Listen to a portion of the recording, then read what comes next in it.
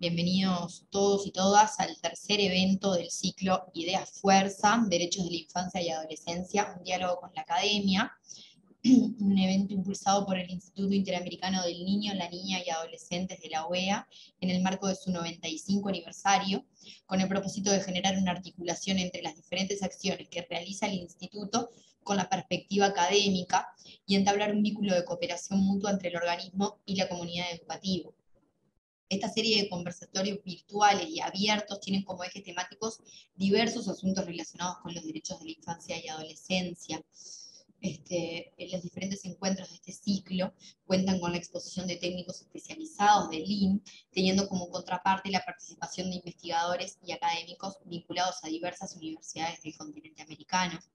En esta tercera instancia se estará disertando sobre los niños, niñas y adolescentes en contexto de movilidad humana. Van a estar al frente de este conversatorio Julia Fonseca por parte del IN, Pablo Seriani por la Universidad de Lanús de Argentina y María Eugenia Anguiano por el Colegio de la Frontera Norte de México. Antes de comenzar, los invitamos a todos los participantes a hacer uso del chat habilitado en la plataforma para que puedan plantear preguntas sobre las temáticas de este conversatorio y las mismas van a ser respondidas sobre el final. También les vamos a solicitar que se tomen cinco minutos para completar un formulario sobre este evento que también vamos a dejar disponible en el chat, en el correr de conversatorio. Ahora sí, para dar inicio, vamos a dar la palabra a Julia Fonseca, que es licenciada en Relaciones Internacionales por la Universidad de la República de Uruguay, diplomada en Migración y Protección de Refugiados por la Universidad de Buenos Aires, Fonseca es consultora en el Instituto Interamericano del Niño, la Niña y Adolescentes en el área jurídica y restitución de derechos como responsable de la temática de movilidad humana. Muchas gracias, Julia. Muchas gracias, Delmira. Buenos días a todos y todas. Para mí es un gusto estar compartiendo panel hoy con, con Pablo y con María Eugenia, quienes tienen una trayectoria muy extensa y comprometida en este tema. Así que muchas gracias por la invitación. Y bueno, en mi intervención quiero hacer una breve caracterización del fenómeno de la movilidad humana desde una perspectiva regional, sus efectos en la niñez y en la adolescencia, y hablar un poco de los instrumentos normativos y los principios que deben orientar su protección. Em, si pueden compartir pantalla, presentación. Pasamos a la primera.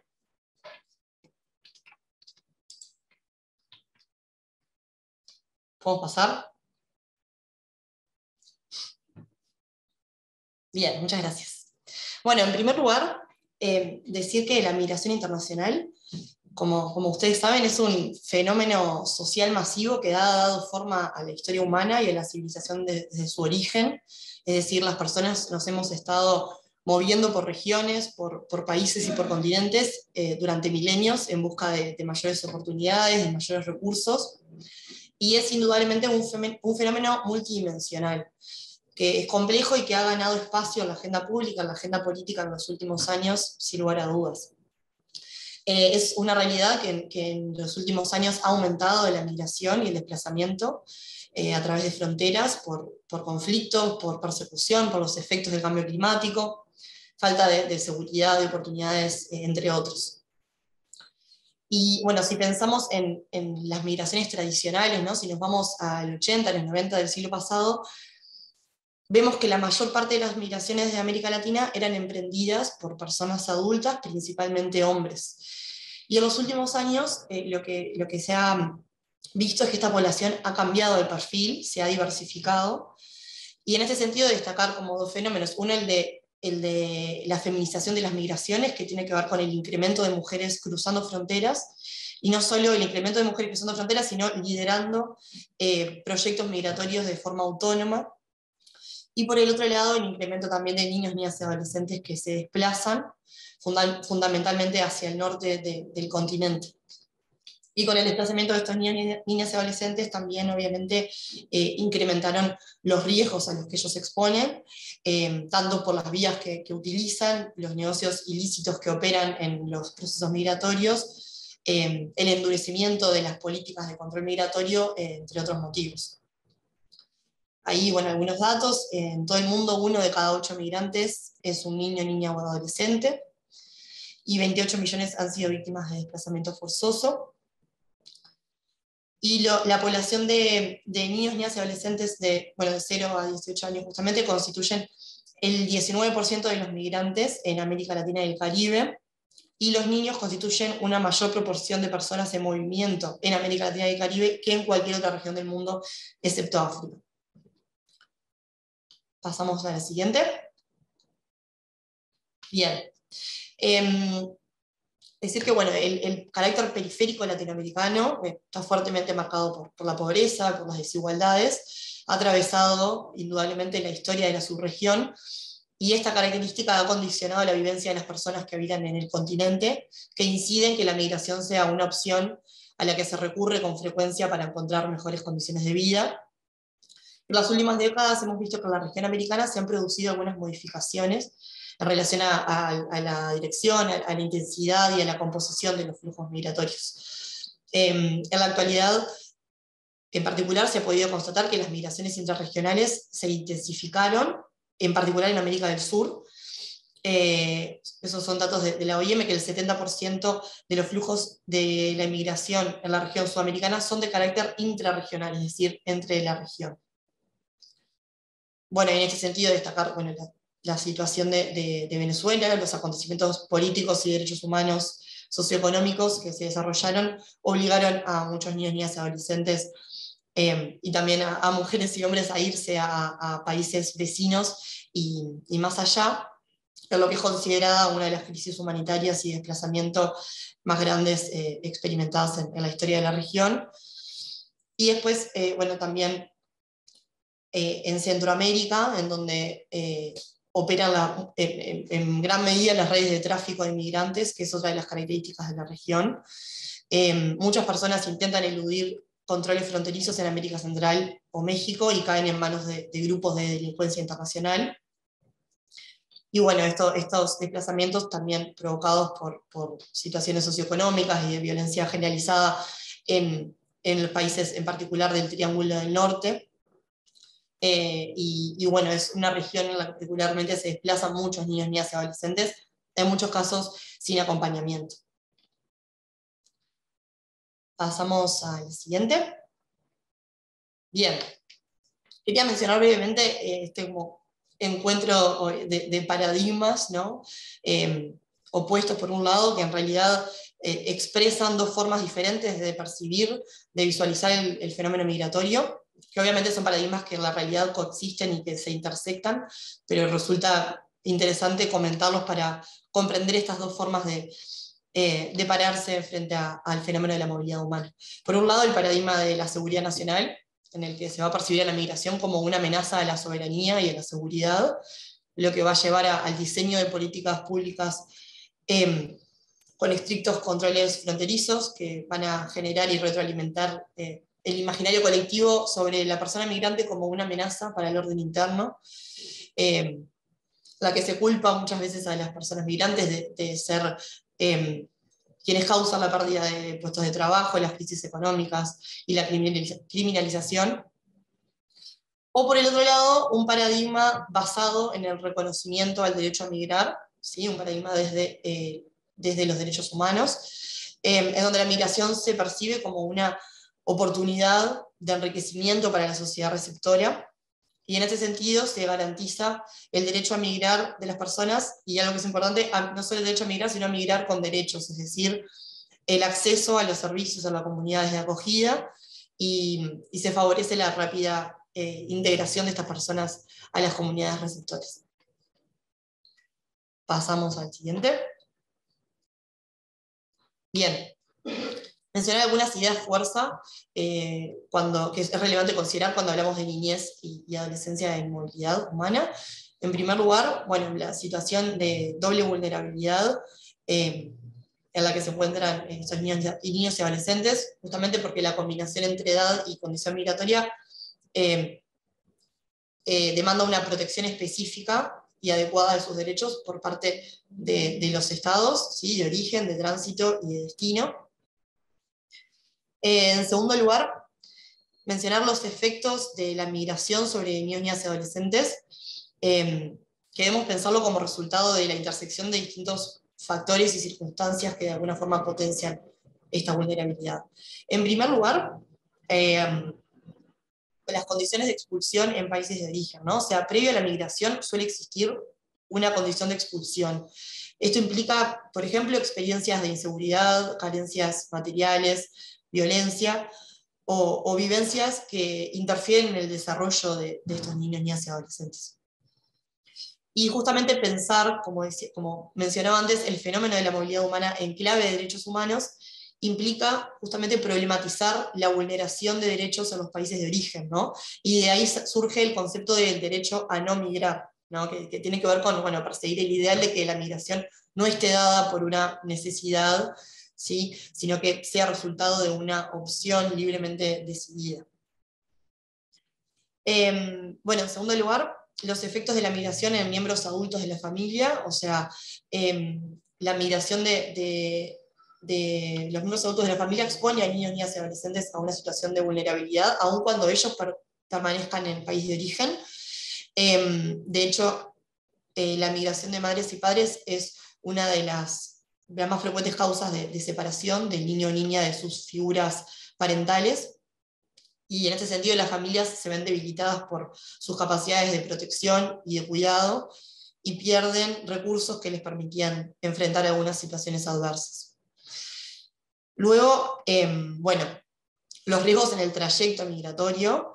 Em, en, los tránsitos migratorios se desplazan familias con niños, niñas y adolescentes eh, que como decía antes, muchas veces también emprenden estas travesías sin ningún acompañamiento. Y en los casos de la migración irregular em, hacia, hacia países de, destino a través de diferentes, fronteras y territorios, vemos que hay muchísimas amenazas a los que, a los que ellos se enfrentan. Y luego, em, la llegada, que tiene que ver con las dificultades en el país de destino, porque muchas veces la llegada al país no es congruente, ¿no? las expectativas em, no coinciden con, lo que es la, realidad. ¿no?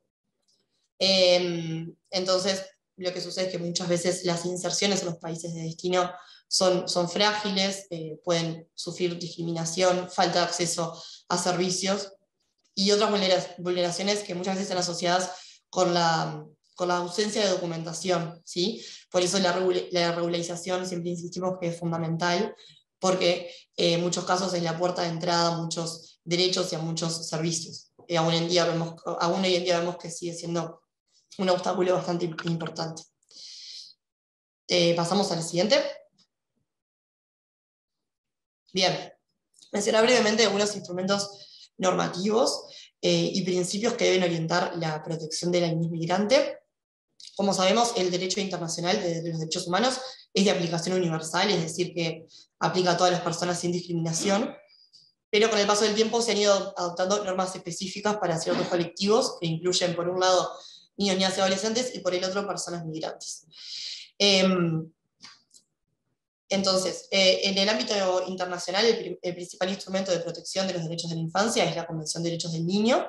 Es el tratado más ratificado del mundo y la Convención define el enfoque de protección integral de la infancia, del cual derivan un conjunto de obligaciones específicas para los estados que buscan proteger todos los derechos reconocidos a niños, niñas y adolescentes eh, dentro de sus jurisdicciones, digamos, sin discriminación alguna. Esto, obviamente, incluye niños, niñas y adolescentes migrantes, así como hijos de, personas migrantes. Em, al igual que otros tratados de derechos humanos, la Convención de Derechos del Niño cuenta con un órgano de expertos independientes que supervisa su aplicación, ¿sí? que es el Comité de Derechos del Niño, y en 2005 em, se elaboró la observación general número 6, que es específica sobre, sobre niñez migrante. Y por otro lado, la órbita de la Convención Internacional sobre la protección de todos los trabajadores eh, migratorios y sus familiares, que fue aprobada en 1990. Eh, tenemos que es un tratado con un bajo nivel de ratificaciones, a diferencia de la Convención de Derechos del Niño, Básicamente lo que se busca es garantizar un trato igualitario y las mismas condiciones laborales para migrantes y nacionales. ¿sí? En 2007, ambos comités em, de tratados elaboraron una observación general conjunta sobre las obligaciones de los estados relativas a los derechos humanos de niños en contexto de migración internacional eh, en los países de origen, tránsito y destino. Y eh, en las Américas tenemos que los, los avances más significativos en materia de estándares de protección derechos, de derechos humanos de niños migrantes se encuentran bajo el trabajo de la Corte Interamericana de Derechos Humanos en el ámbito de la OEA. Una de, las funciones eh, fundamentales de la Corte es dictar opiniones consultivas vinculantes para todos los estados que forman parte de la OEA. Eh, y la más importante en este campo es la opinión consultiva 2114 sobre derechos y garantías de niños y niñas adolescentes en contexto de migración y, y o con necesidad de protección internacional. ¿Pasamos? Bien. Em, cuando hablamos de los principios clave que deben orientar la protección de niños, niñas y adolescentes en contexto de movilidad, humana, se desprenden un poco de, estos, de este marco normativo que, describí anteriormente. Em, bueno, en primer lugar, el interés superior del niño. Eh, la Convención de Derechos del Niño establece que el interés superior del niño debe guiar todas las medidas que se adopten en relación con la protección de sus derechos. Eh, el propósito de, este principio es garantizar el disfrute pleno y efectivo de todos sus derechos, así como el desarrollo integral de, los niños, niñas y adolescentes. Y es un principio que es fundamental en el marco normativo de protección de infancia y que debe ser tenido en cuenta particularmente en contextos de, migración, sobre todo cuando hablamos de niños con necesidades eh, de protección internacional. Después, em, el principio de igualdad y no discriminación, que, em, debe regir todas las, debe ser el centro de todas las políticas y procedimientos de migración, em, incluidas las medidas de control de fronteras, e independientemente de la situación de residencia de los niños y, de sus padres, ¿no? de alguna manera prohíbe hacer distinciones que tengan efectos negativos en el reconocimiento eh, y ejercicio de derechos en función de, por ejemplo, nacionalidad, país de origen o, como decía, condición migratoria. Luego, bueno, el, principio de protección eh, especial, que tiene que ver con, esto es súper importante, debe darse prioridad al marco normativo e institucional de protección de infancia. En los procedimientos migratorios se debe considerar primordialmente la condición de niño, niña y adolescente antes que la situación migratoria, es decir, los niños antes que nada son niños, niñas y adolescentes. Em, bueno, el principio de la unidad familiar, ¿sí? que tiene que ver con que todos los niños, niñas y adolescentes tienen derecho a tener una familia y la familia a cuidar de ellos. Y esto incluye en eh, los casos de movilidad humana, particularmente el derecho a la reunificación familiar.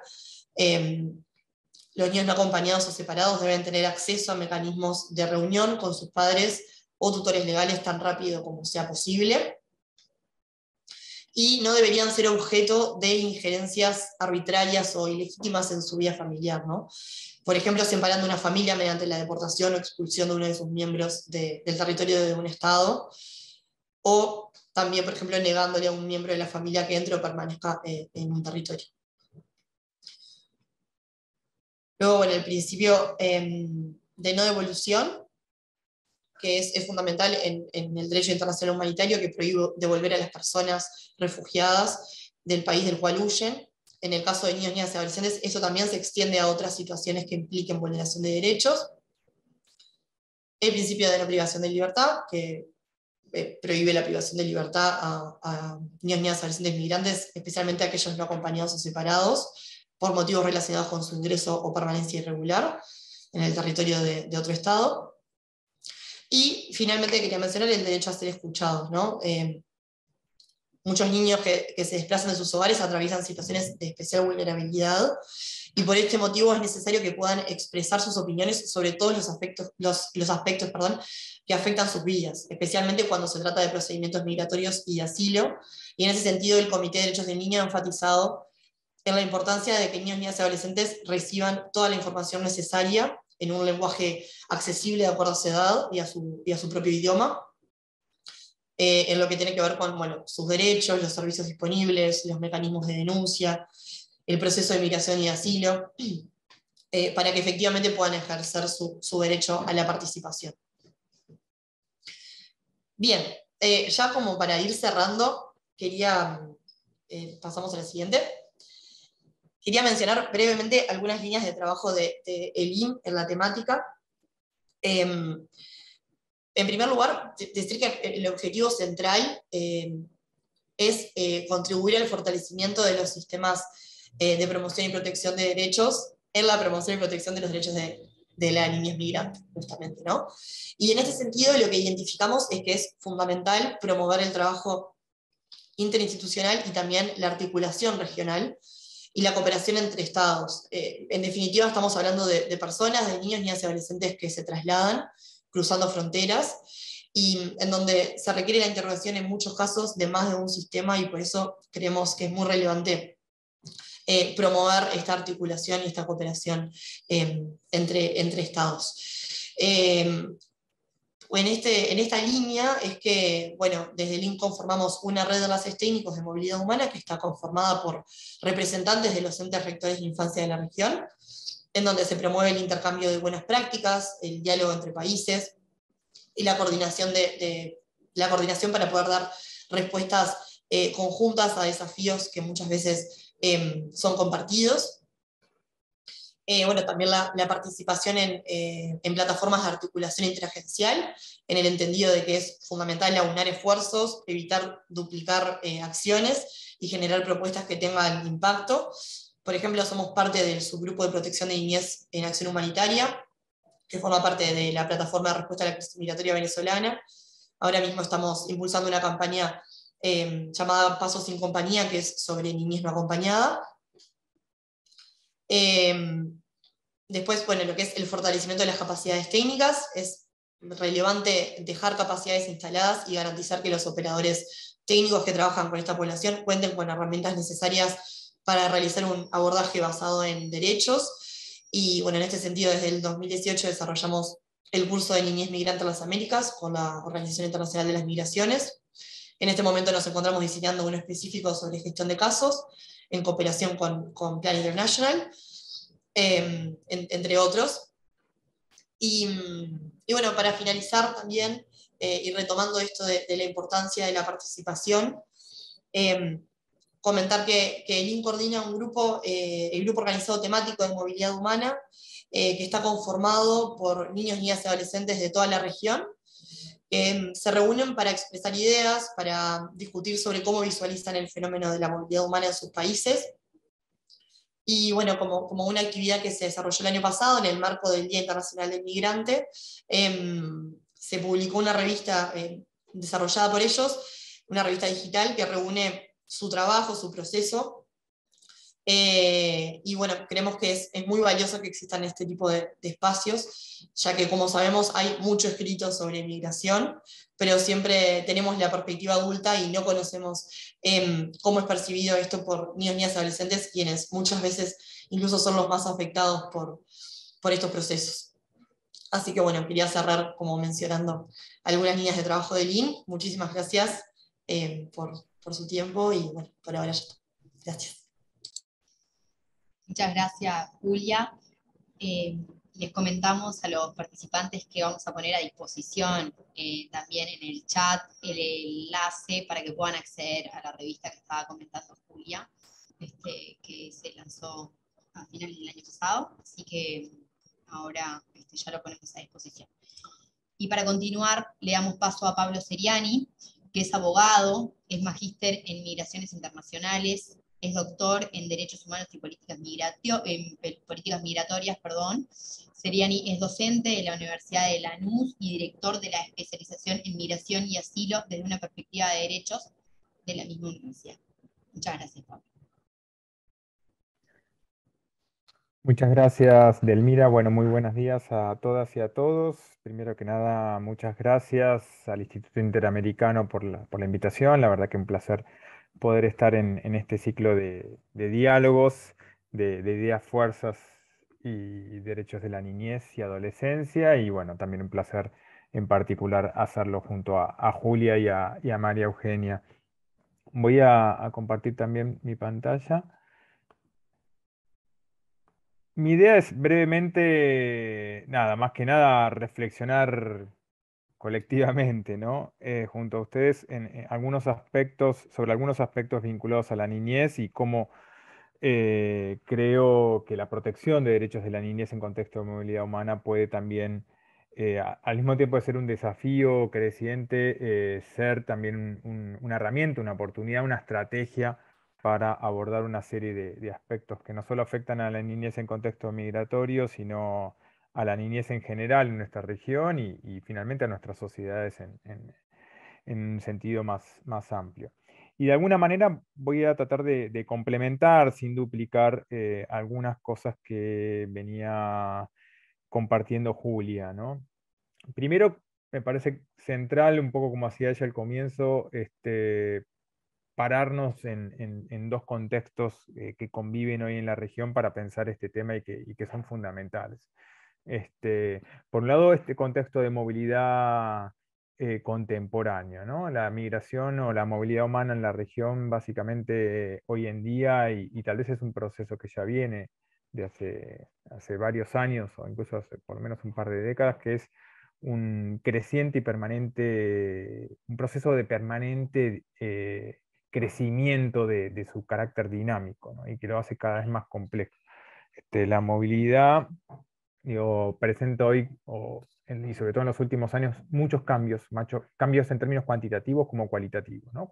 Cuantitativos en cuanto a la cantidad de personas que se desplazan y sobre todo, como bien decía Julia, dentro de la región, no solo a través hacia, hacia, el, hacia el norte del continente o hacia otras regiones, sino sobre todo entre los países de la región y cambios también cualitativos en, muchos sentidos, pero sobre todo en la multidireccionalidad de, de esa movilidad, que ya no solo sigue rutas tradicionales o, este, procesos migratorios que, llevan mucho, una trayectoria temporal mucho más larga, este, sino también en las condiciones en términos de, irregularidad o de vulnerabilidad, que de vuelta no es que no existían, pero hay un incremento notable en ese sentido, eh, de vuelta cuantitativo, pero en cuanto a la profundidad también y la complejidad en la que se producen esos, esos, esos recorridos. Y como también decía Julia, un incremento progresivo de la presencia eh, de niños, niñas y adolescentes en esos procesos, tanto acompañando a, a sus familias o aparte de sus familias, como migrando de manera no acompañada o con otras personas adultas con diferentes características.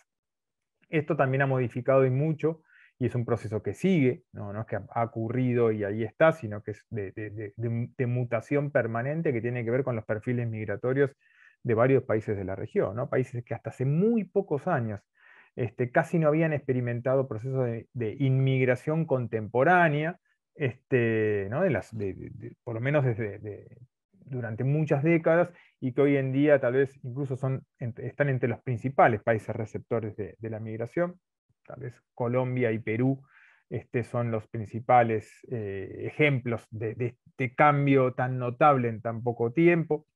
Y es un proceso que, como decía, que sigue cambiando. Y esto genera además una transformación en el tejido social de las sociedades receptoras, tanto, tanto receptoras como de, espacios de tránsito, ¿no? pero sobre todo en su condición de sociedad de acogida, ¿no? de recepción de, esta cantidad de personas eh, que emigran a través de los países de la región. Y esto eh, ya es un punto de partida central para pensar eh, cualquier cuestión social y sobre todo, o en especial, temas vinculados a niñez, adolescencia y luego lo que es juventudes, etc. ¿no? Esto, hoy, hoy estamos hablando de localidades, de comunas, de municipios, etcétera, de ciudades, de urbes este, de nuestros países donde el 10, 15, 20 o el 50% de su comunidad es migrante.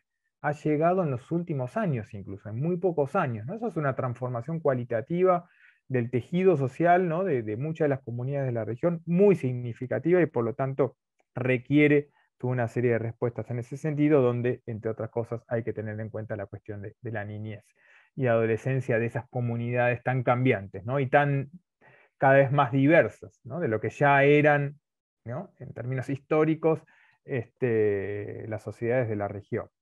El segundo contexto que me parece clave para luego pensar la articulación entre ambos tiene que ver con algo, lo, lo decía también Julia, con problemas y desafíos de carácter estructural en los países de América Latina y Caribe, en términos de, pobreza, de exclusión social, de marginalidad, desempleo, precariedad informalidad laboral, problemas en cuanto a otro tipo de condiciones, y, siempre hablamos de derechos en todos estos temas, este, de vida, ¿no? de vivienda, protección social, la precariedad de ciertos servicios públicos, sobre todo respecto de cierto porcentaje de nuestras poblaciones, múltiples formas de violencia social, institucional, basada en género, entre otras, todas las problemáticas en términos de inseguridad ciudadana, racismo de carácter estructural en todas las sociedades de la región y complementariamente con múltiples formas de, discriminación, ¿no? Esta cuestión de la interseccionalidad, que donde finalmente todos estos problemas que mencionaba antes y otros se presentan además de manera sobre representada en ciertos sectores sociales sobre la base de estas múltiples formas e interseccionales de discriminación. Y luego, en todos estos temas y otros, los indicadores en, términos de en, materia de infancia, ¿no? las condiciones de vida de los niños, niñas y adolescentes en nuestras sociedades, los niveles de desigualdad, de violencia, las fortalezas y debilidades de los sistemas de protección, todos los retos que hay en materia de desarrollo integral de la infancia, de ejercicio pleno de derechos garantizados ya hace 33 años por la Convención sobre Derechos del Niño, las problemáticas en materia de explotación, y esto es un mero resumen de muchos problemas de carácter estructural. ¿no? Entonces, ese carácter dinámico de la movilidad complejo que está transformando los tejidos sociales cada vez más y a velocidades cada vez más cortas, este, se da al mismo tiempo hacia sociedades que ya tienen de carácter estructural todos este tipo de problemas y, más. Entonces eso habla también de, la complejidad.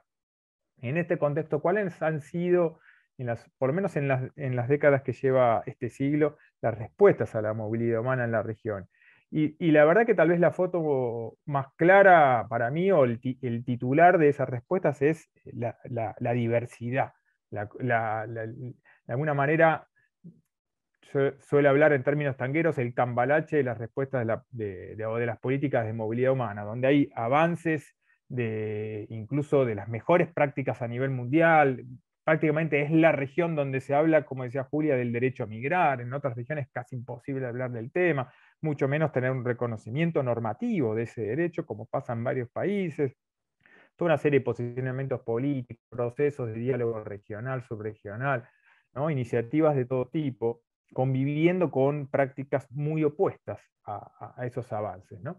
Hay, diseños y desarrollos aún en, procesos de implementación de políticas más integrales que abordan la movilidad humana no solo para gestionar una frontera o un permiso de residencia, sino todos sus aspectos, todas sus dimensiones sociales, inclusive todo lo que tiene que ver con la infancia, y otras políticas que están todavía siguiendo enfoques sesgados, muy, muy acotados, muy estrechos y por lo tanto con altos grados de ineficacia y, de impacto dañino en las personas que se desplazan y luego en las sociedades receptoras, ¿no? una mirada más securitaria, etc. Hay iniciativas de acogida humanitaria, de recepción en frontera, de facilitar la migración regular, pero también medidas como visados restrictivos, militarización de fronteras, lo que genera mayor irregularidad, mayor precariedad, mayor vulnerabilidad en las condiciones en las que se produce ese desplazamiento, como casi como única estrategia de, las personas, familias y niños y niñas que deben salir en mayor condición de vulnerabilidad por los problemas que hay en origen.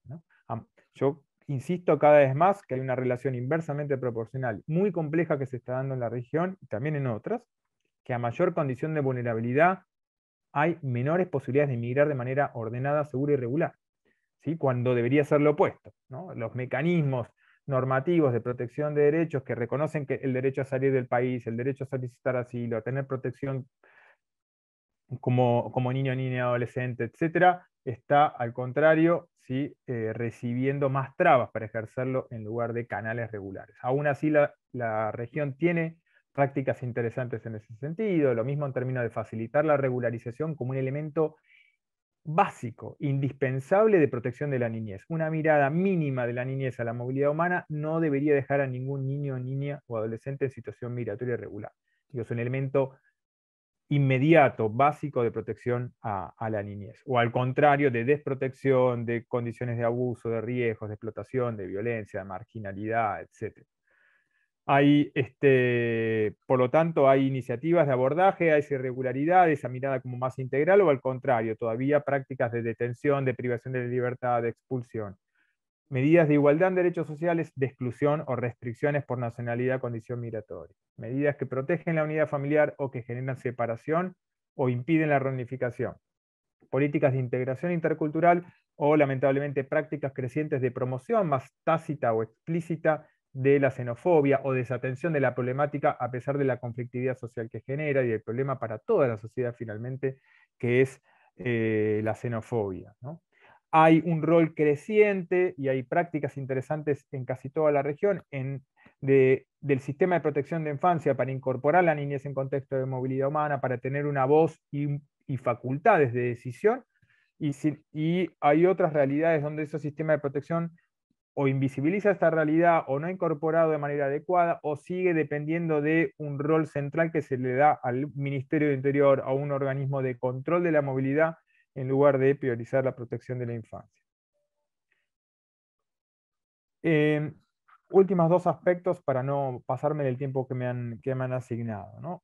Frente a esta realidad y estos desafíos, ¿no? yo creo que la aplicación de los derechos de la niñez en contexto de movilidad humana, de la Convención sobre el Derecho del Niño, de estos eh, instrumentos normativos y estándares que describía Julia, y sobre todo el interés superior como, interés, como principio que luego este, permea a todos los demás, ¿sí? creo, es fundamental, en primer lugar, que ese, esos principios se, se implementen de manera transversal en todo lo que tiene que ver con la política en una frontera, para facilitar los canales de migración regular, para prevenir la irregularidad, para facilitar el acceso a la residencia, para regular el ejercicio en condiciones de igualdad de los derechos, para proteger la unidad familiar, asegurar garantías en los procedimientos, para prevenir la xenofobia en múltiples ámbitos sectoriales, comunitarios y en los diferentes niveles eh, de gobierno, ¿no? las políticas que se pueden hacer a nivel local, de gobiernos intermedios, de gobiernos centrales, etc.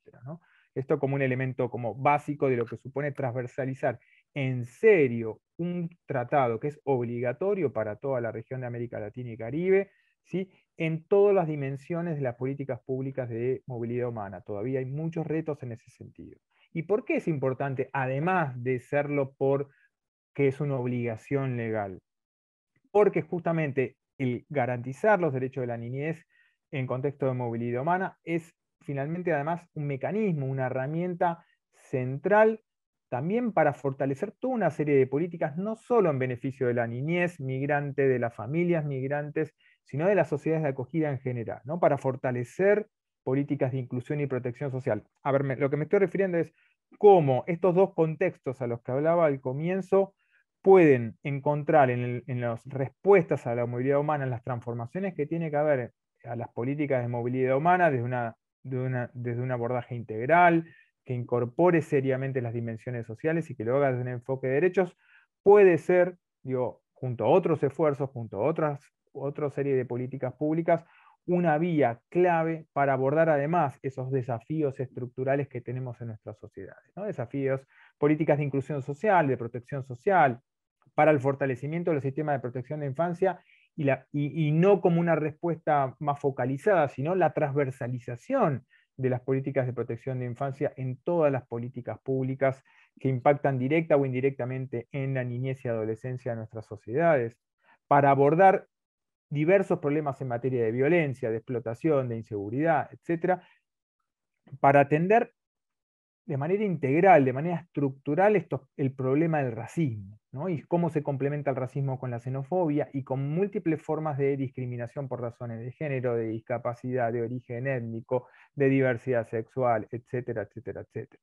¿no? Creo que la atención que genera la cuestión de la xenofobia debería llevarnos a fortalecer la imperiosa necesidad de abordar en nuestra región temas estructurales como el racismo y múltiples formas de discriminación. Hacerlo o no hacerlo nos lleva a dos posibles escenarios en nuestra región donde esta, esta, esta movilidad humana crece, se complejiza y tiene estos cambios que estábamos describiendo. Un escenario de reducción de riesgo en rutas migratorias o al revés, lo que venimos viendo en los últimos años. Incremento de diferentes factores de riesgo, de la presencia de actores de desprotección y que ejercen violencia, explotación, otro tipo de abuso frente a la niñez y otras personas en contexto de de migración, esta irregularización que se genera a través de visados y otro tipo de medidas que no son las medidas adecuadas cuando hay una necesidad de emigrar en esas condiciones de vulnerabilidad. la realidad de muchos países de la región en el periodo 2017-2019, sin tener en cuenta lo que profundizó la pandemia, nos muestra de cómo es posible atender ese desplazamiento desde una perspectiva humanitaria, de recepción, de proceso de inclusión largo, o al revés, irregularizarlo a partir de poner de manera prioritaria otro tipo de respuesta. Un escenario donde se aborden problemas estructurales, incorporando además la, situación de la niñez, y se promuevan políticas de desarrollo humano integral e inclusivo, ¿no? y está la Agenda 2030 y muchas otras agendas en las que los estados están trabajando, o al revés, a partir de un mal abordaje al tema migratorio se profundicen los niveles de exclusión y marginalidad. Un escenario de mediano o largo plazo con sociedades y, tejidos sociales que decía están creciendo en su diversidad a partir de procesos de movilidad Em, tejidos sociales integrados, cohesionados, a partir también de políticas de integración intercultural, o al revés, sociedades que presenten indicadores más preocupantes todavía de racismo y xenofobia y por ende de desigualdad y violencia. ¿no? Un escenario donde haya finalmente también un abordaje a los derechos de la niñez, este, a este fenómeno de la movilidad humana junto a otros problemas estructurales, eh, como estrategia para abordar justamente este, problemas estructurales, incluyendo, como decía Julia, las causas de la movilidad. Es clave en nuestra región abordar las causas de la movilidad. ¿sí? Digo, hay ejemplos, en, por ejemplo, en el contexto europeo, por más desafíos que hay, problemas, sobre todo de mal abordaje al tema de movilidad, sobre todo cuando es migración desde otras regiones, pero cuando se piensa el proceso de desplazamiento intraeuropeo, como es la característica central hoy en nuestra región, el abordaje a esa movilidad, a esa libre circulación y residencia, y hay iniciativas en ese sentido hace varias décadas en nuestra región, se tiene que hacer de la mano del abordaje de los procesos de desigualdad entre y dentro de los países. Si no, lamentablemente lo que seguiremos teniendo es un incremento de la movilidad en condiciones de alta vulnerabilidad, circunstancia que lamentablemente luego es usada para un mal abordaje de eso y una continuidad de los riesgos, de los y de los efectos en materia de desigualdad, de exclusión, de xenofobia, etcétera, que impide el desarrollo de los niños, niñas y adolescentes, profundiza los problemas y luego se genera luego ese efecto dominó y de bola de nieve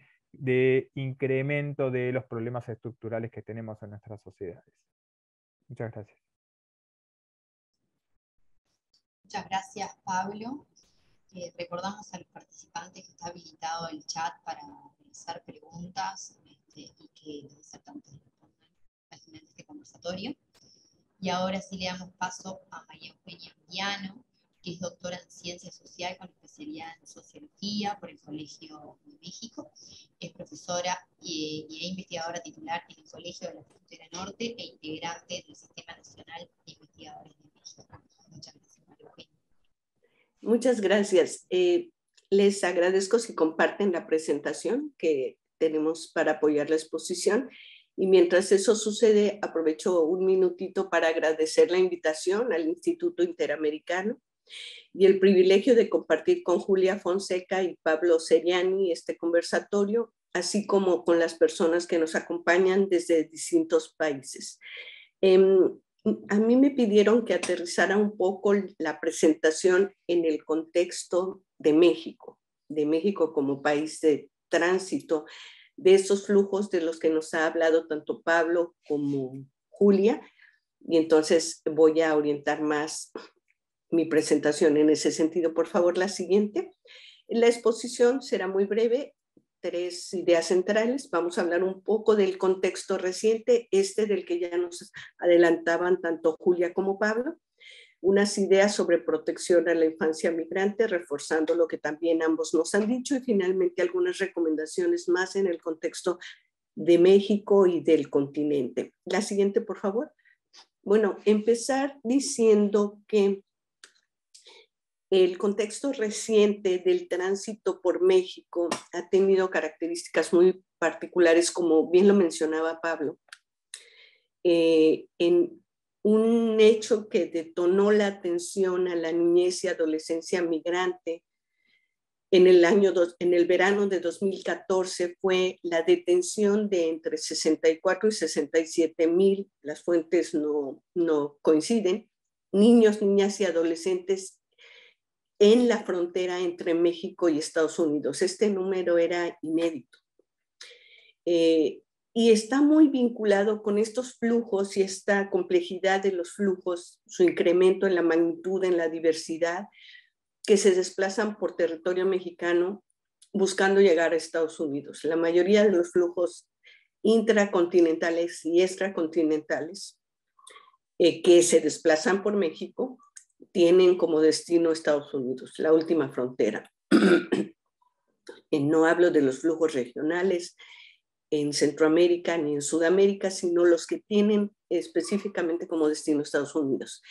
Estos, eh, entre ellos, entre 2016 y 2018, por México se experimentó visiblemente flujos de cubanos, haitianos, venezolanos, personas de origen extracontinental que estaban desplazándose hacia Estados Unidos. En concreto, el 17 de diciembre de 2014, Barack Obama y Raúl Castro anunciaron el inicio de acciones para el restablecimiento de las relaciones diplomáticas entre estos dos países. Una consecuencia de este anuncio fue que entre los años 2015 y 2016 se incrementó el flujo de migrantes cubanos que transitaban por Sudamérica, por Centroamérica y por México con destino a Estados Unidos. De ello dieron cuenta fuentes periodísticas y estudios académicos detallando las condiciones de esta movilidad, la vulnerabilidad y las rutas de estos desplazamientos, pero también las acciones gubernamentales para impedir o facilitar dichos desplazamientos. De la misma manera, el desplazamiento de personas haitianas en esta diáspora ocasionada por el terremoto de 2010, eh, que inicialmente se movieron hacia Brasil con un programa de visas humanitarias, pero posteriormente emigraron hacia otros países sudamericanos como Chile y Ecuador, y después realizarán un largo periplo hacia Estados Unidos, pasando por Centroamérica y México, con destino a Estados Unidos y Canadá, en donde tienen redes eh, consolidadas. Los venezolanos, como ya nos mencionaba también Pablo, este éxodo de más de 5 millones de personas que no solo han migrado hacia Colombia y Brasil como sus países vecinos inmediatos, sino también hacia Ecuador, Perú, Argentina, Uruguay, Paraguay y, como no, hacia Norteamérica, Canadá, Estados Unidos y México, para quienes cuentan con recursos. Y finalmente las caravanas centroamericanas muy famosas en los años 2018 y 2019, en donde por supuesto, están constituidas por familias que viajan con niños, niñas y adolescentes.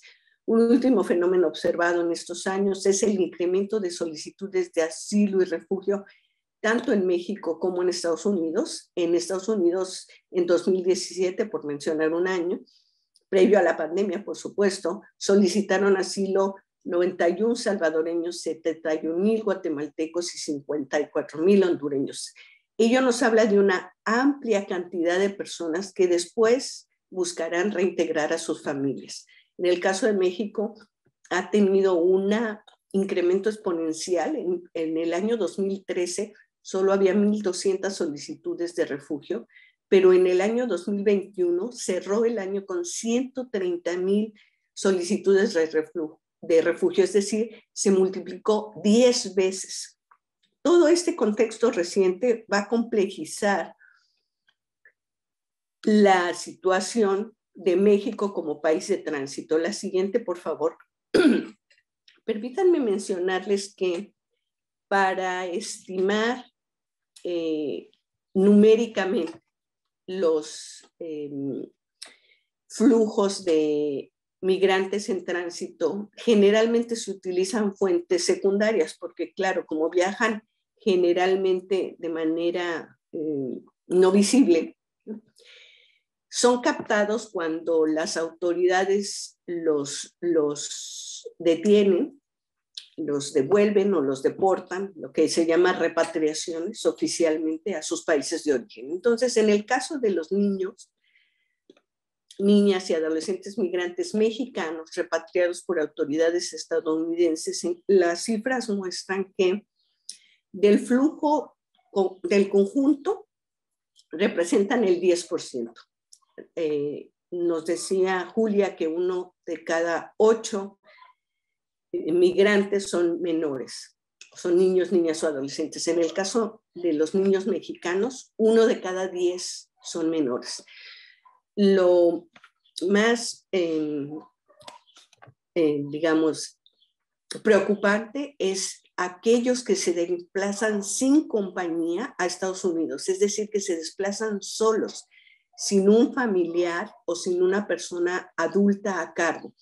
En 2020, en México se registraron 12.500 eh, desplazamientos de niños, de los cuales el 75% viajaban solos. Esta cantidad es alarmante, por decirlo menos. En 2021 se duplicó el número de niños en tránsito por México a, 18, a 23 mil, pero de ellos 18 mil, el doble del año, del año previo, también viajaban solos, el 77%. Es decir, tres de cada cuatro menores o adolescentes viajan solos, niños, niñas o adolescentes. De ese conjunto registrado en el año 2021, 86% eran varones, y 14% mujeres, es decir, 3.000 mujeres viajaban en este flujo. La mitad, más de la mitad, tenían entre 12 y 17 años y cerca de la mitad, 44%, eran menores de 12 años. Estas cifras nos hablan ya del detalle del conjunto de niños, niñas y mm, eh, adolescentes que están viajando por México. De estas, de las niñas o mujeres, 78% tenían entre 12 y 17 años y 55 de ellas viajaban solas. Hay un número que a mí me parece impresionante, el 21% eran menores de 12 años, es decir, 710 niñas, y de ellas 21 niñas viajaban solas, niñas menores de 12 años viajando solas. Imaginen todos los riesgos y la vulnerabilidad que ello representa, como nos mencionaba Pablo. La siguiente, por favor.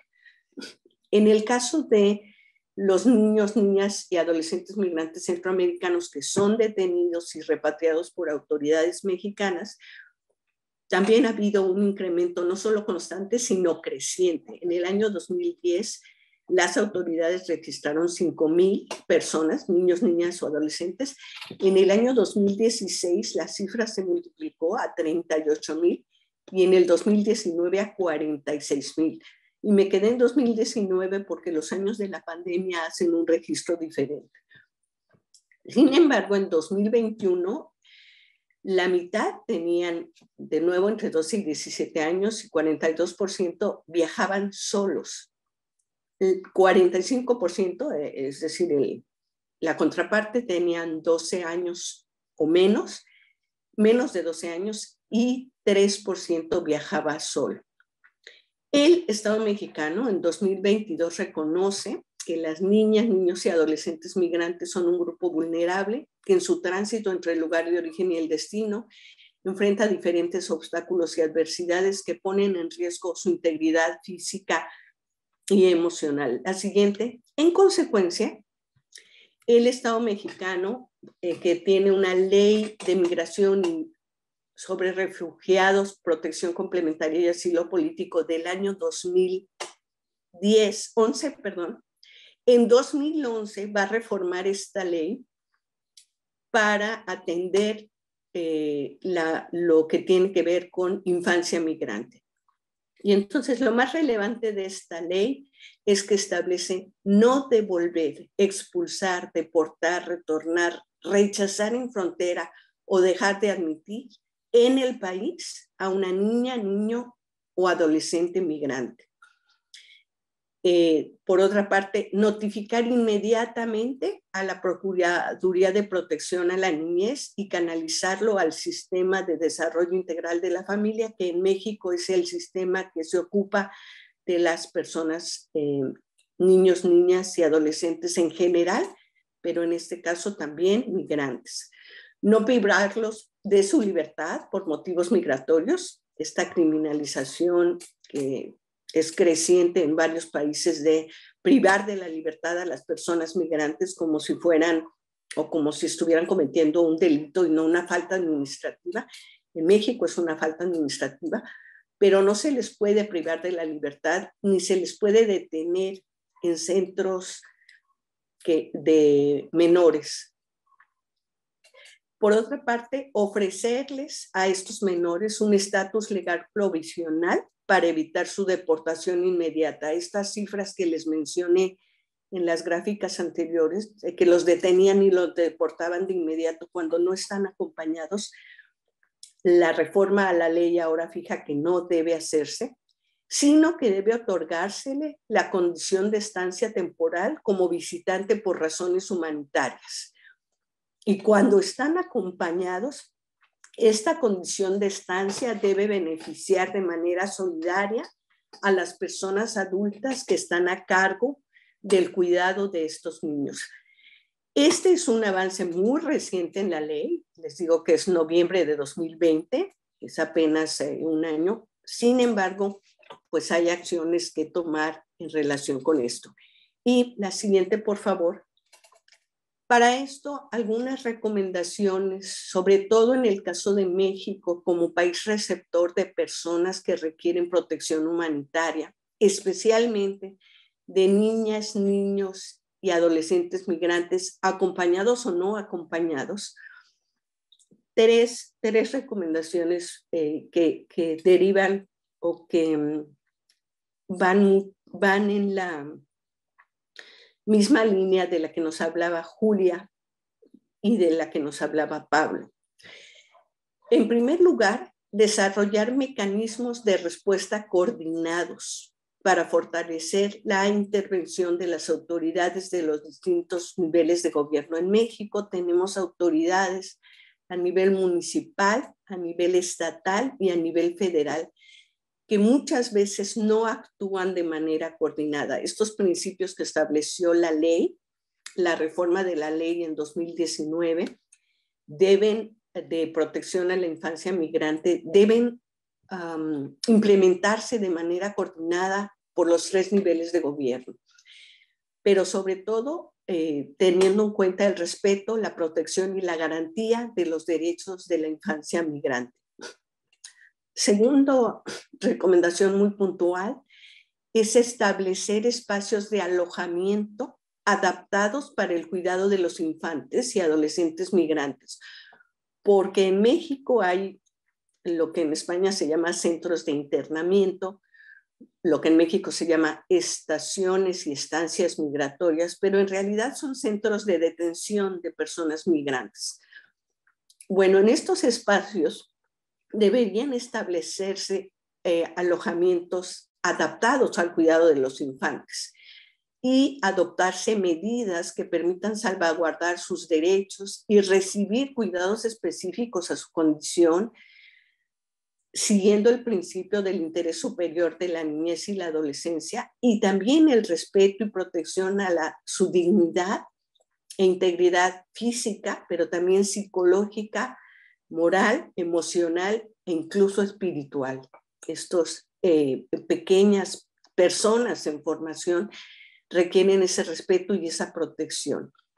Y en el largo plazo, conformar un sistema regional sostenible y resiliente para gestionar la movilidad de las personas, lo que nos hablaban tanto Julia como Pablo, en este paradigma de la seguridad humana, y no de la seguridad nacional, en este paradigma del respeto a los derechos de las personas, el respeto a los derechos humanos, y en este caso de niños y adolescentes, particularmente trascendiendo las acciones y políticas reactivas de los gobiernos en turno. Porque, bueno, en el caso de México, en el, cada seis años hay un gobierno federal y estatal, pero cada tres hay un gobierno municipal.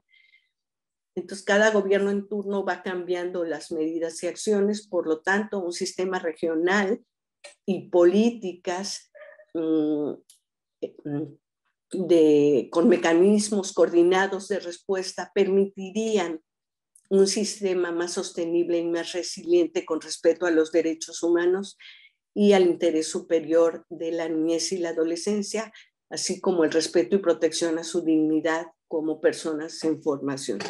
Eh, termino la presentación con la última mm, diapositiva, que es una fotografía. En, en, Tijuana, en el Colegio de la Frontera Norte, tenemos un fotógrafo profesional que está documentando permanentemente los flujos migratorios. Miren, esta fotografía fue tomada a finales de 2021 nosotros le llamamos Garita el Chaparral, es el cruce fronterizo de Tijuana hacia Estados Unidos, hacia San Diego. Al fondo, eh, esos colorines que se ven ahí, del lado en su pantalla sería el lado derecho, dice Tijuana y encontramos esta eh, reunión de personas haitianas, ahí donde señala la flechita, eh, son estos letreros que hay en todo México anunciando, y eh, también lo he visto en Montevideo, un letrero muy bonito que anuncia el nombre de la ciudad. ¿no? Estas personas son haitianas y están reunidas allí porque les dijeron que posiblemente iba a haber una posibilidad de anotarse en una lista para ser considerados para eh, asilo en Estados Unidos. Pero la foto me llama la atención porque en ella aparecen niños menores y con una flechita. En primer plano está una pequeña, pero en segundo plano está otra niña acompañando a su acompañada por su madre y otro par de niños en tercer plano. ¿no? Que nos habla de estos flujos que nos decían tanto Julia como Pablo, ya no son de hombres solos, trabajadores, migrantes, sino son cada vez más familias que viajan acompañadas con sus pequeños, viaja la familia completa. bueno, este, les quise mostrar esta de, de haitianos, pero en la frontera norte tenemos centroamericanos, venezolanos, cubanos, y recientemente, aunque con otro trato, ucranianos. Los ucranianos lograron cruzar a Estados Unidos en 24 horas. Estos haitianos tienen aquí desde 2016, es decir, llevan casi seis años esperando poder cruzar y tratando de integrarse a la ciudad. Por lo que hablaba yo del nivel municipal, que tiene que coordinarse con los niveles estatal y federal para atender a esta población en particular, estos menores que han nacido, perdón, en el trayecto o en México y ya son, por su nacimiento en el país, ciudadanos mexicanos y que tiene que atender el Estado. Entonces dejo aquí mi, mi presentación para conversar con ustedes. Muchas gracias por el apoyo en la proyección de la presentación. Muchas gracias, María Eugenia. Y ahora, antes de pasar a las preguntas, eh, les recordamos si pueden tomarse cinco minutos para completar una encuesta que dejamos eh, disponible en el chat. Y ahora sí, vamos con las preguntas. Una de ellas llegó dirigida a Pablo Seriani, que dice, cómo se puede mostrar la contradicción entre el derecho a la movilidad humana y el supuesto derecho de los estados para regular la misma, por ejemplo, la implementación de visados. Sí, gracias por la pregunta.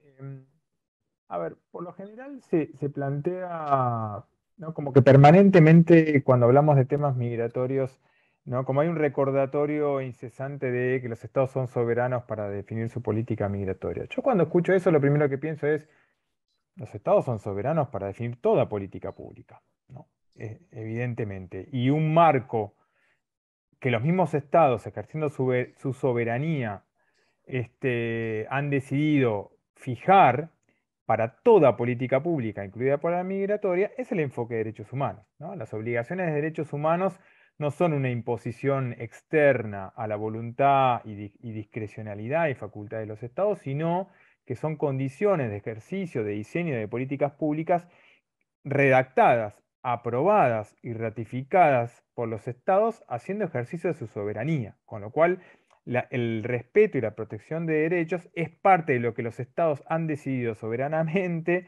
este, para justamente proteger a las personas que están en su jurisdicción a través de todo tipo de políticas públicas en cualquier materia cuya implementación o regulación pueda impactar en derechos, como por ejemplo las de movilidad humana. Entonces, lo primero es, no debería haber contradicción entre ejercicio de soberanía y protección de derechos, porque justamente es parte del mismo accionar de los estados el que establece esa complementariedad y esa adecuación de toda política pública, incluida la migratoria. Ahora, cuando vemos el ejemplo del visado u otro tipo de medidas, ahí de vuelta yo aplicaría, porque no hay motivo para la excepción, aplicaría las mismas reglas para todo tipo de política pública. Cuando un Estado diseña una política pública migratoria, de seguridad social, de seguridad ciudadana, de educación, de materia de igualdad de género, tomen en materia laboral la que fuere, ¿sí? esas políticas tienen que estar adecuadas a derechos. ¿Cómo, ¿Cómo, se hace? Al diseñar la política, el marco normativo, los mecanismos de implementación, el marco constitucional, etcétera, etcétera. ¿Cómo también se hace? Evaluando el impacto. Bueno, ¿qué medidas se implementan en materia de educación o la que fuere? Bueno, digo, cada año o periódicamente se evalúan, bueno, ¿qué impacto tiene? Se garantiza la educación, hay problemas de deserción escolar, hay problemas de desigualdad, hay problemas de falta de recursos, hay problemas de falta de capacidades en los distintos actores que son claves para garantizar el ejercicio del derecho a la educación, etcétera, etcétera. Bueno, ¿qué cambios hay que hacer? Se generó daño por, la, por una mala implementación, por un mal diseño de esa política. Lo mismo vale para la política migratoria. Entonces, si frente a unas condiciones tales de movilidad, que además tienen esas condiciones de irregularidad, de vulnerabilidad, etcétera, que señalábamos, u otras, los estados implementan medidas. Bueno, ¿qué evaluación hacemos? ¿Qué evaluación hacemos de un visado? Un visado que generó mayor ingreso regular, mayor control sobre la movilidad, etcétera, etcétera, mayor protección de las personas que necesitan protección porque son niños que migran solos o porque pueden estar en el marco de red de trata, etc. O hay indicadores de resultados opuestos. Hay mayor ingreso por trochas, por pasos irregulares, mayor aparición de redes de tráfico de, personas, redes de trata, niños y niñas que son víctimas de todo tipo de abuso, violencia sexual, etcétera, etcétera. Este, hay otras formas de violencia, ¿no? que esos son los datos que me empiezan a aparecer o a crecer a partir de la imposición de un visado o la construcción de un muro, o mandar a la Guardia Nacional, al ejército o a otro tipo de fuerzas armadas para, para atender un fenómeno social de esas características, de niños, niñas, familias saliendo de situaciones de mucha vulnerabilidad por la única vía que pueden. Bueno, si esos son los resultados, hay que revisar la política, como pasa en todo tipo de política pública. Por eso, ¿no? aunque lo que estoy diciendo es algo básico, me parece que es importantísimo, porque a veces parece que el tema migratorio da lugar a una excepcionalidad que no da para otras políticas públicas. Y no hay herramientas normativas ni de, ninguna, de ningún tipo para, generar y aceptar esa excepcionalidad. Entonces, yo iría por ahí en cuanto a la respuesta a esa pregunta que, agradezco y que creo que es, bien importante porque, bueno, muchas veces sale ese debate sobre, sobre contradicciones. Muchas gracias, Pablo. Eh, les leo otra pregunta eh, que dice, uno de los problemas más grandes que tienen niños, niñas y adolescentes al llegar a un país es el poder retomar sus estudios y el ejercicio de su derecho a la educación. ¿Qué herramientas deben tener los estados para garantizar el ejercicio de este derecho? ¿Se puede pensar en una postilla como la de la Haya para educación primaria y secundaria? No sé, Julia, eh, si quieres comentar algo al respecto y, y le damos lugar también a María Peña. Dale, gracias Demi, gracias por la pregunta. Em, creo que, algo fundamental es asegurar efectivamente el acceso a la, educación, independientemente de la situación migratoria del niño o adolescente. Hay algunas experiencias en la región positivas en ese sentido. Em, como comentamos, la regularización es un aspecto fundamental para, garantizar el acceso a los servicios. Em, entonces, facilitar la documentación con celeridad es, es clave. Pero como sabemos, muchas veces estos procesos son, son engorrosos, los servicios se encuentran saturados, entonces justamente permitir el acceso a la educación, inclusive cuando niños, niñas o adolescentes no cuenten con un estatus regular, es fundamental. Em, y creo que hoy en día esto depende en gran parte de la política implementada por cada estado, pero creo que sí, sin duda sería muy positivo contar con herramientas regionales en donde haya procedimientos claros y se establezcan compromisos para asegurar esta como continuidad educativa.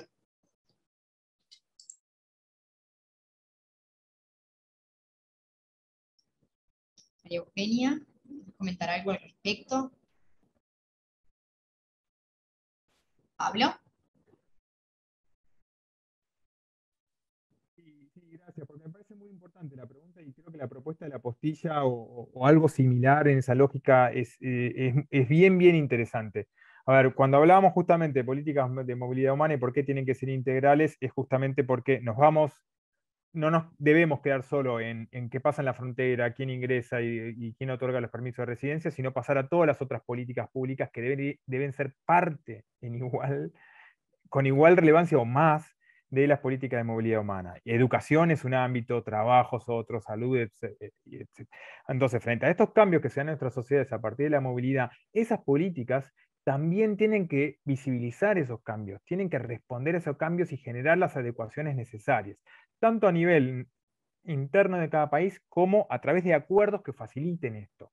Cuando hablábamos de hace tal vez 5 o 10 años o, 15 años, por ejemplo, en contexto sudamericano, sobre ciudadanía sudamericana y proceso de integración regional, decíamos, bueno, no alcanza con decir que migrar es un derecho, y que sino que esto tiene que permear todos los ámbitos que, que, atraviesa un proceso de movilidad. Y por lo tanto, incluso se hablaba, por ejemplo, de acuerdos bilaterales o, multilaterales de reconocimiento automático de capacidades laborales. Por ejemplo, que quien, quien se ha formado no solo en materia educativa, sino laboral en tal tema, automáticamente, y tiene la acreditación en su país, pueda automáticamente trabajar para lo que se preparó al país al que emigró.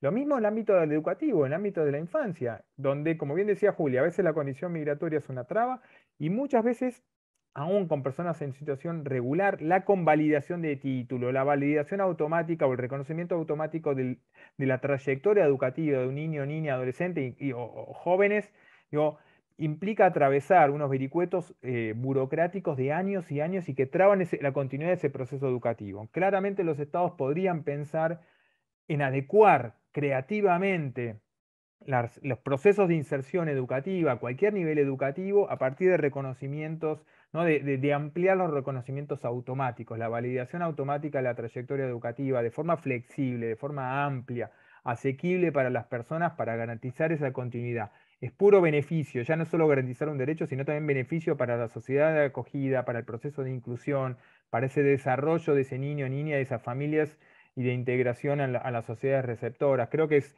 es bien interesante la propuesta de quien envió esa pregunta y que creo que tiene que ser parte de los procesos en serio de diálogo regional, de construcciones y abordajes integrales este, de manera cooperativa entre los estados de la región para que justamente no nos quedemos con la primera mirada que es que gestionar de manera coordinada es solo hablar de qué hacemos conjuntamente en una frontera, por ejemplo. Gracias, Pablo. No sé si los disertantes quieren dar alguna reflexión final para finalizar este conversatorio.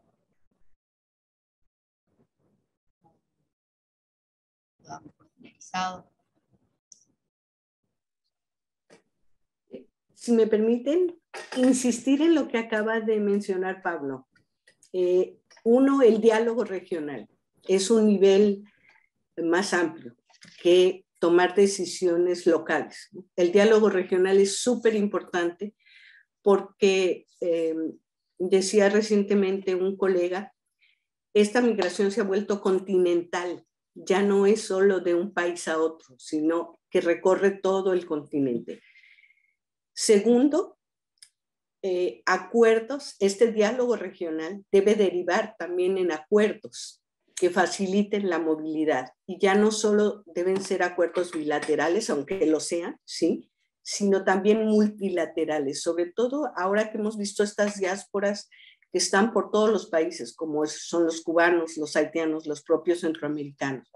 Y tercero, que mencionaba Pablo y también Julia, políticas integrales, es decir, no solamente dirigidas a la educación, no solamente dirigidas a la vivienda, sino integral eh, y de integración, que empieza, como bien señalaron Julia y Pablo, por la documentación, por facilitar la documentación de las personas, el poseer un documento de identidad, que de verdad puede ser muy, muy fácil. El fácil eh, ahora que tenemos todas estas mm, herramientas tecnológicas, es de lo más fácil con un código QR facilitar la documentación de las personas, pero también el trabajo, lo laboral es fundamental porque las personas para vivir tienen que trabajar, facilitar el ingreso al mercado laboral a través de, esta, de este diálogo regional y de estos acuerdos y facilitar las acciones de residencia y educación. Residencia que tiene que ver con vivienda y educación que tiene que ver con este acceso, bien lo dijo Pablo, de forma flexible y amplia a cualquier persona al sector educativo, desde obviamente los niños y adolescentes, pero también a cualquier persona que quiera continuar su formación. Eh, yo ahí terminaría y concluiría. Gracias.